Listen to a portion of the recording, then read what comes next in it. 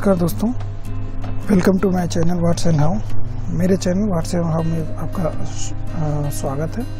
मैं आज आपको इस वीडियो में बताने जा रहा हूँ कि आप अपने नेटवर्क फोल्डर को कैसे शेयर कर सकते हैं। तो दोस्तों, आइए देखते हैं। मैं एक फोल्डर बना लेता हूँ यहाँ पे न्यू फोल्डर इसका मैं नाम दे देता हूँ S H A R E share sorry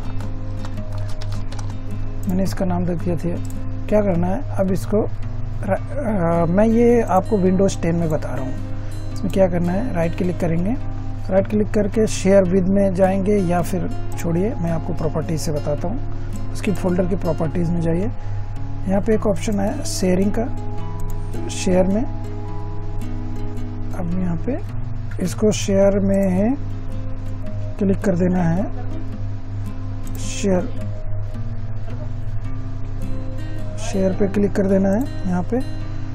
और आप देखेंगे कि एक एडवांस सेटिंग का ऑप्शन है, देखेंगे यहाँ पे। Share folder share this folder कितने लोगों को आपको अलाउ करना है? सपोज़ मैं यहाँ पे दे देता हूँ ट्वेंटी परमिशन में आपको क्या परमिशन देनी है? आपको एवरीवन को देना है या किसी को पर्टिकुलर को किसी को ऐड करना है? तो एडवांस एडवांस में जाएँगे। एडवांस वैसे यूज़र नेम पासवर्ड नहीं मांगना चाहिए। अप्लाई कर दिया ओके कर दिया, ये शेयर हो गया फोल्डर शेयर अब हम सिक्योरिटी में जाएँगे एडिट में जाएँगे। एडिट में जाएँगे तो किसको आपको शेयर करना है? सपोज़ किसको आपको शेयर करना है? जैसे एडमिनिस्ट्रेटर में सिस्टम को सिस्टम को एडमिनिस्ट्रेटर तो यहाँ पे ऐड कर दीजिए।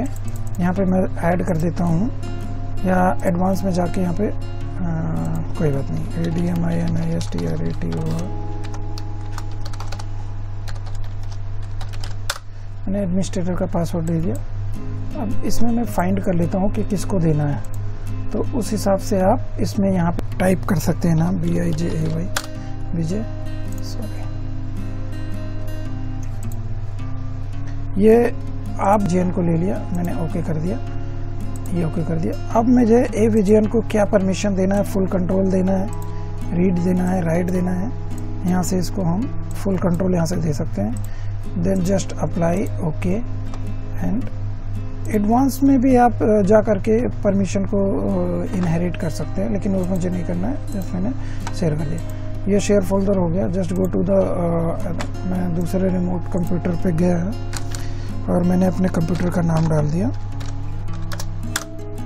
ये देखिए, मैंने शेयर नाम का फोल्डर बनाया था। ये यहाँ पे हमें एक्सेसिबल है। सपोज़ अगर मुझे कोई डाटा नेटवर्क पे शेयर करना है तो मैं इसको यहाँ पे देखेंगे। मैंने वहाँ पे फ़ाइल दिया। इस तरह से आप किसी को नेटवर्क पे फोल्डर को शेयर कर सकते हैं और इन्फॉर्मेशन को डाटा को, उधर से इधर कुछ भी लिंक कर सकते हैं। सपोज़ मैंने क्या किया? Six D T twenty share हुआ। मैंने एन डिटेल्स को यहाँ से कॉपी किया, यहाँ पे पेस्ट किया।